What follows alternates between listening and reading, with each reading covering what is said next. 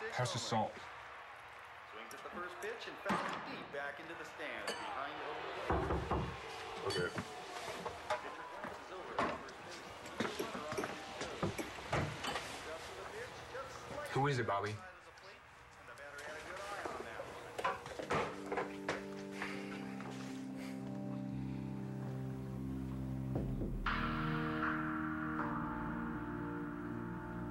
one. Wow, this is a surprise. Come. Hey, Star. Hey, James. Uh, James, this is my best friend Langston. Langston, this is James. Hi. I've heard a lot about you. I'm not even gonna touch that one. Uh, what are you doing here? Your brother asked Star a question tonight, but she didn't really get a chance to answer it. So we're here to make sure he knows exactly where she stands. Hell is she talking about? Why would you go see Star in the first place? Was that supposedly when you went for a walk? Is that what he told you? Yeah, Star, he lied to me. No, he came over and asked if things between me and Cole got bad enough that we broke up, if he would have a chance with me. Dude, I told you to stay away from her. Well, if I had told you the truth, you would have stopped me. I wasn't gonna let you do that. All right, well, what about you? What's your excuse? Star's my best friend. Yeah, well, your best friend should be able to speak for herself. I will. Don't worry about it. I'm here for backup. And plus, I wanted to meet James for myself. So, James, do you want to hear Star's answer or not?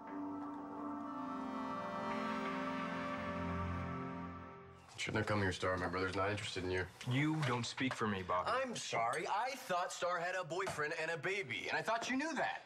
Yes, he does. Well, then why don't you go back home with baby and boyfriend? Damn right where it! You bel- Let her say what she came to say. I'm listening.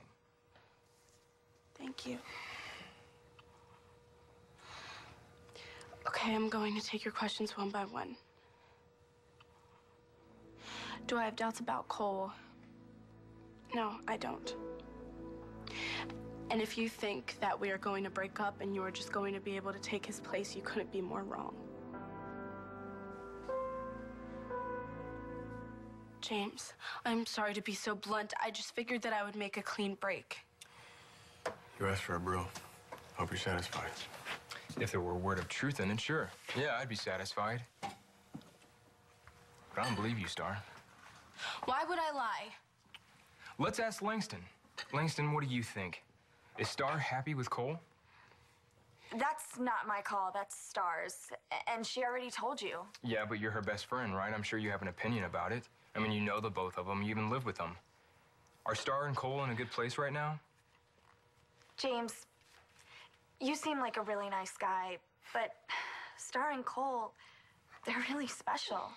I mean, of all the couples I've ever known, they have what it takes to stay together no matter what. Well, did you mean that? You think I'm a nice guy? Yeah, sure. Why don't you go out with me?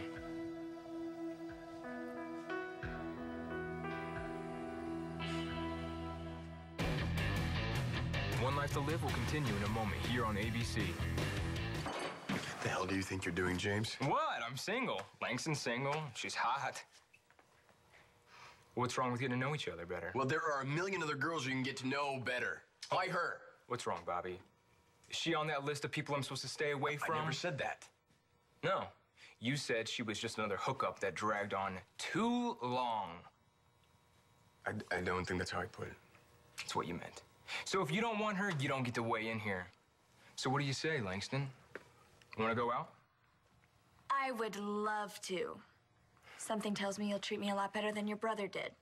Great. I'll give you a call. Langston, what's your number? It's 555-0176. Oh one seven six. Yeah.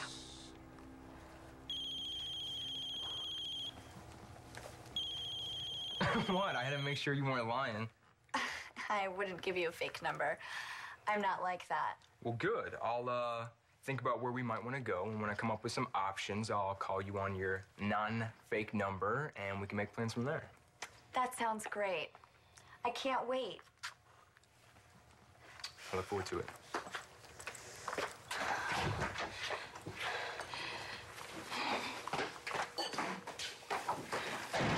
What was that about? What are you talking about?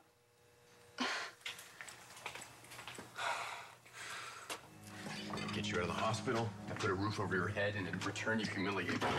I asked a pretty girl to go out with me. What the hell does that have to do with you? You know my history with Langston. Yeah, you treated her like crap. And I think that means you don't get to decide what she does or who she sees No, no, for the rest of her life. You did this for two reasons to stick it to me and to stick it to Star. I don't live my life trying to get back at people, Bobby. That's you. Bull.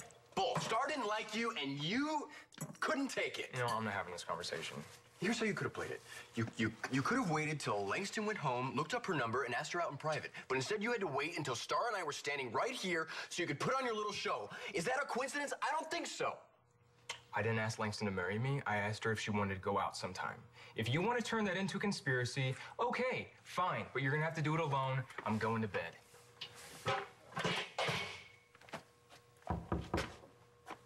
You can get that. But if it's Langston, make sure you come get me out of bed.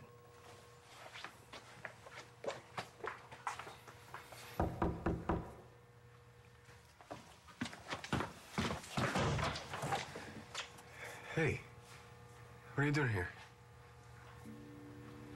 I came to get the truth, once and for all. Truth about what? That night, when I came to your apartment, we had sex, didn't we?